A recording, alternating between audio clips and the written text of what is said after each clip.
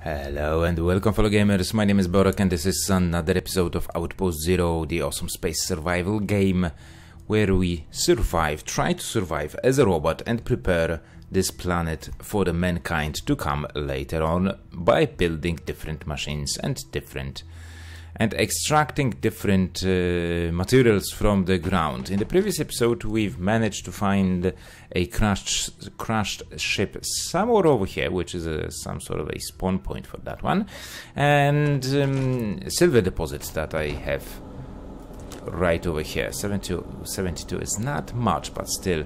That's better than nothing.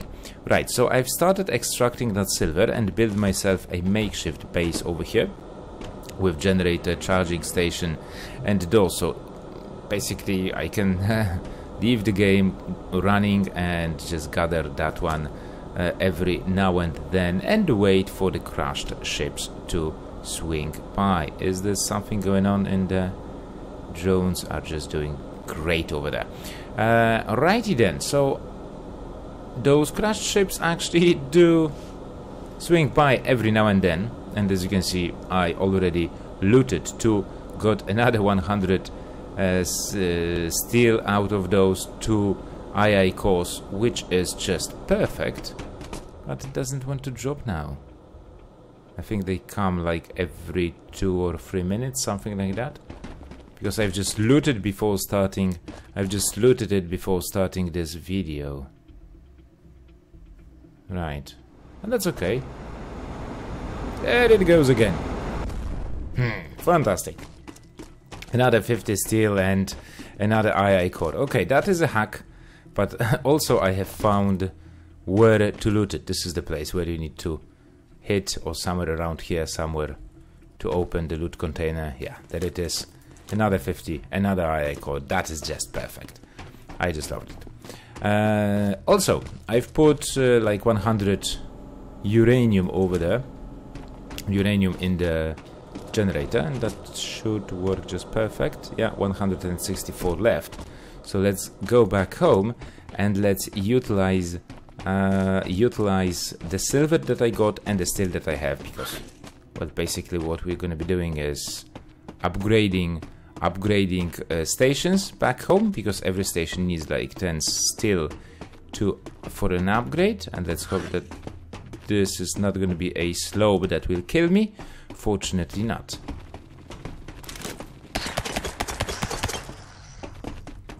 And also I have like shitloads of bullets back home since my robots were doing awesome job back home, which is just perfect. Right. Uh, this is not acid rain, this is not our area. Let's hope. X, Y, 2. No, that's not it. But everything will go green soon. Okay, so I'll see you guys back in the base. Okay then, so here we are, and let's see what will happen well, if we start. Hello, beautiful. Yeah. I'll be okay. talking to all that sexy scrap metal. Fantastic. Not you. You're as good as dead. Okay, so let's see what will happen if we start upgrading like uh, nuclear generator but I want to upgrade that one actually. So if I upgrade this one we, we will get more power to be able to be drawn from that one. Okay so let's spend those points and let's build this. Let's not waste time on the pirates which are basically completely useless. Okay fantastic. So that one is done and another one will require hardened steel we're not going to be doing that just yet. Okay, where did they land? No idea. But let me just grab some uranium. Actually, every single uranium that we can. Uh, but I will need space for that. Let me just put those over here. Okay, okay, let's grab that uranium and put it, and let's put it in here. So, oh, and actually now we have two slots. That is all. That is good. So I can load more uranium and don't, and I don't have to uh, spend that much time or add that much uranium in here. What also makes me wonder if if the uranium is being drawn because of the amount of power that is being generated or because of the power grid consumption. So That's basically my question. If you have an answer to that, please let me know in the comment section below. That would be really, really awesome. Okay, so power rate it has ended, so that's good. That is already tier 2, so we're not going to be upgrading this one. And I want to cancel the steel, uh, since I have like plenty.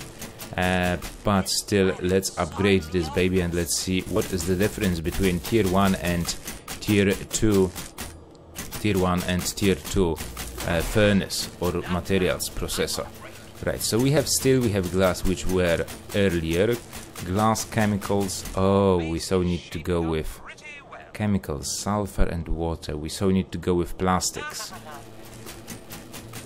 Because uh, then I need to start mining petroleum. So I have this base over there. So yeah basically we can do that. Fuel with chemicals petroleum carbon fiber.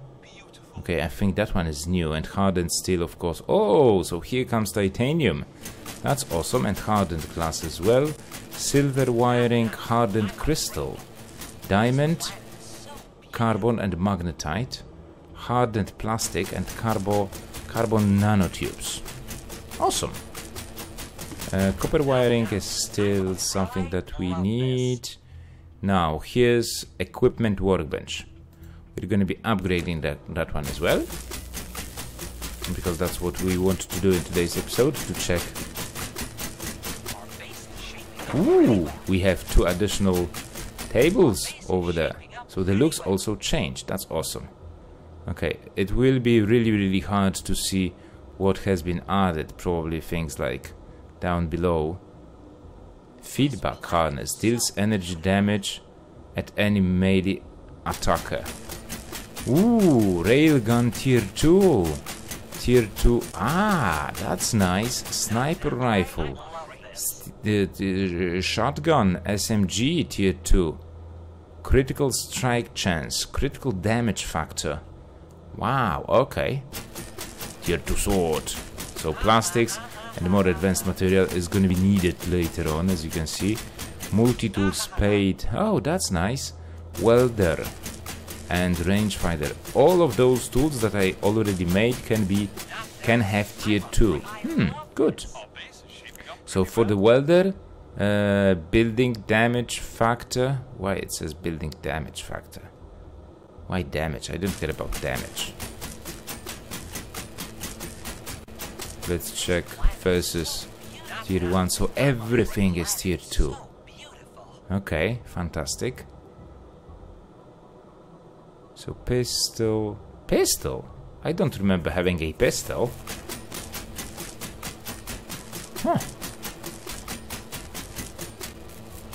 where was it hand drill welder building damage factor minus 6 so the same huh Maybe they are a bit different.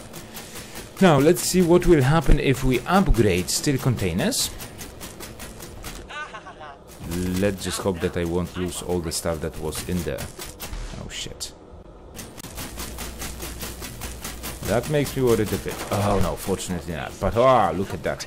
Look at the space that we just got. Few additional slots versus that one. That is 1, 2, 3, 4, 5, that's 10. Versus 1, 2, 3, 4 times 4 times 5 so basically we doubled the space which is just perfect which is just good okay now it's time to go with machine shop tier 2 let's see how this one will handle it Ooh, looks more fancy okay Wow. Oh, now I can make those bullets for SM, not SMG, rifle. But that one will require potassium nitrate. Used to make, used for making food, furniture, or burning as fuel. Found near bodies of water. Oh, it says actually where you can find it. Those materials, that's nice. Found near areas of water erosion and cliffs. Like beaches and whatnot. Iron, common material used for building crafting found near cliffs and rocks. Sweet! That is really good. Hardened hyper crystal Used to construct AI cores crafted at tier 2 material processor. Okay. We're not gonna go with glider. I wonder if anybody built a glider? Because it is possible to... To, you know, build that stuff with even such great... Even with such amount. Oh! Basic things. Oh, so you can actually go with more advanced stuff, so you can filter stuff. That's really nice. Does this apply to every single station? Yes, it does. How glorious. You can see now the exact difference between those two. Between those tiers. That is really good, I must admit. That one is already tier 2, so let's not worry about that. Okay. Okay, so having so much steel, having so much AI cores, I want to look into Robo Doggy? Wow, robotic companion who can boost morale and attack enemies by, but can't equip any weapons or do any jobs. Hoverbike? Hoverbike? Hovers slightly above terrain and consumes fuel. Wow. Supreme AI Core. Okay. I would like to build this one first, so we will need robotics assembly and we will need plastics for that. Okay, so plastics, let's just check plastics with basics. Uh, what do I need to make plastic? Plastic, sodium and petroleum. Okay. so that's no go for me just yet. Let's go on top.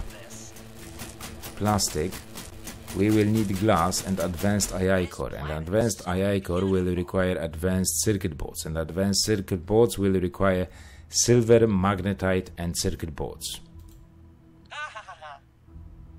Insufficient materials. Come again, what was that? Again, advanced circuit board, magnetite and circuit boards. I have, I should have like plenty now, these are not circuit boards. There's four. Let's just start building them. There's another two. Uh, I have some petroleum over here. But still I should, like, you know, have the station. Where did all those circuit boards go? Is that, that's it? For the circuit boards? What a damned once, you were not doing anything. Stupid lazy ass. Hmm. I hate those drones, honestly.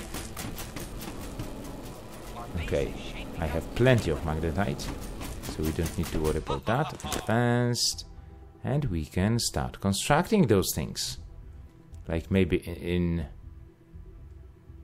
Like that. But it takes so long to build one. So I guess I will leave that to drones. This one can be actually upgraded.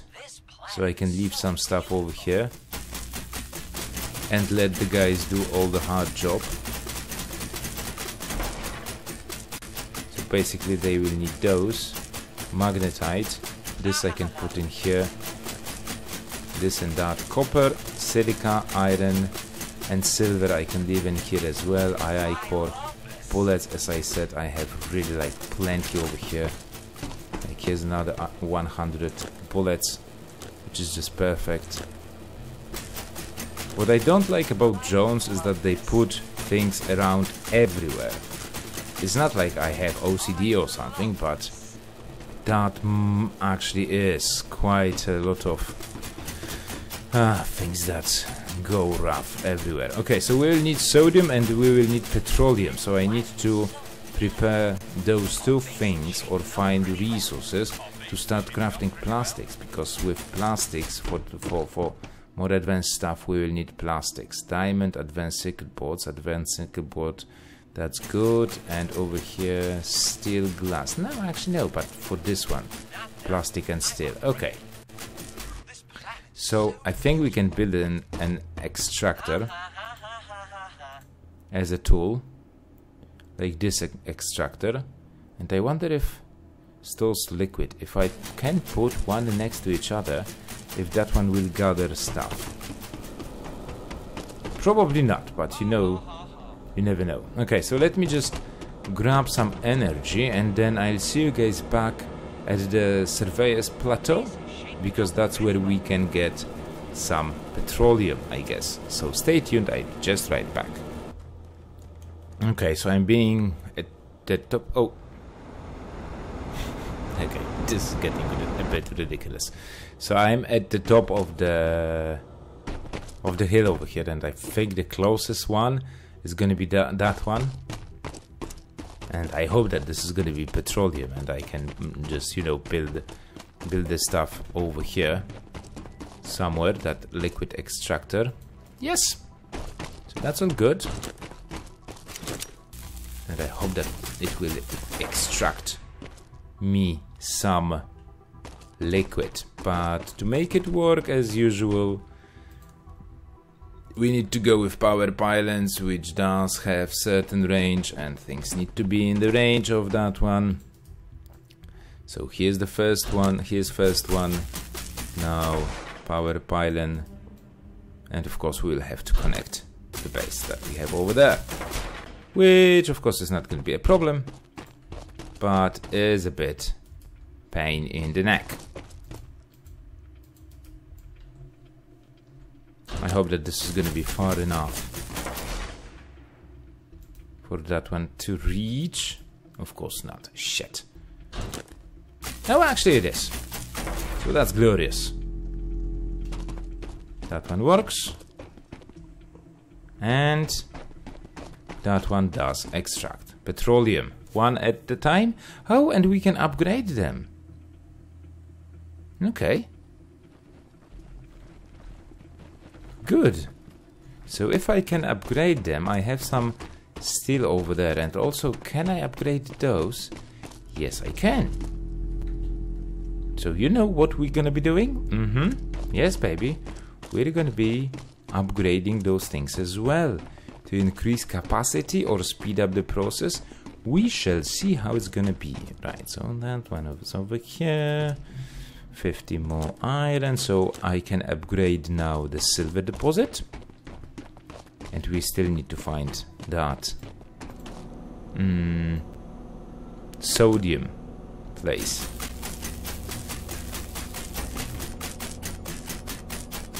Of course that one will start draining more power but at least we'll have two places over here so I can get like 500 at the time two stacks which is just great now the question is, what will happen if I upgrade that one? Does this only increase range? No idea, and honestly I have no idea how to check it.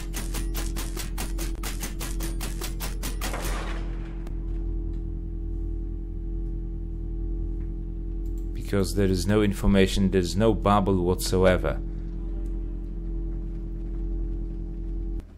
Oh, it has two sounds. Oh, shit. You scared the crap out of me, dude. Okay. Oh, I think it lowers the consumption, the power consumption. It does increase HP, that's for sure. 0.05 kilowatts. And that one drains Foundation doesn't it drain? No, the same amount. So maybe it only increases HP? Hmm, no idea. But let's go over here and let's uh, upgrade that extractor as well. So it takes like one, two, three, four, five seconds per each.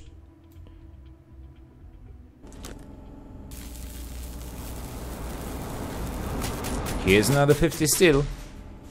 I don't mind. I really don't mind that.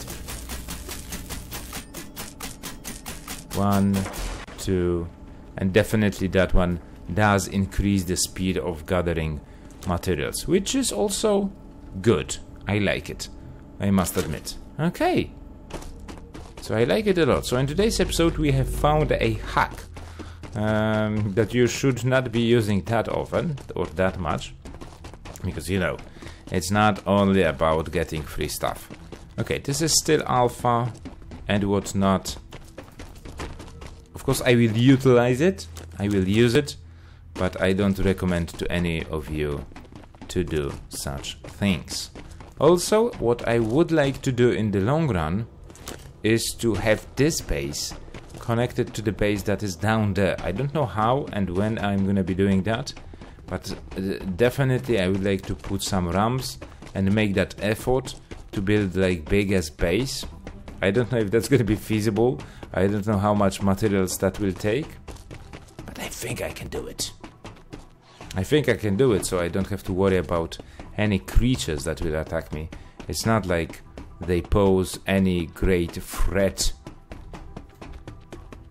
to me. No potassium nitrate. But you know, you know, that's just one of those things that I would like to do. And it's it's doable. I think it's doable. I don't know about supports and you know that might be a bit prob problematic, but basically going with foundations over here and going that direction. Yeah, that's something. You know, I would like to have like this one big ass corridor leading over there, but I think I should start from a base and go towards that one. Hmm, I must think about that. Maybe not in today's episode, but nevertheless. So, okay, guys, that's gonna be it for today's episode. I hope you enjoyed it. If you did, remember to leave a like, comment about the gameplay, subscribe to the channel if you're new and you like what you see, and I hope that and I hope that we'll see each other in the next episode. Because those pirates, well, they are not gonna be doing anything. Oh, look at that, level 3 pirates. Fantastic. So stay tuned, I will be back for more. Bye bye.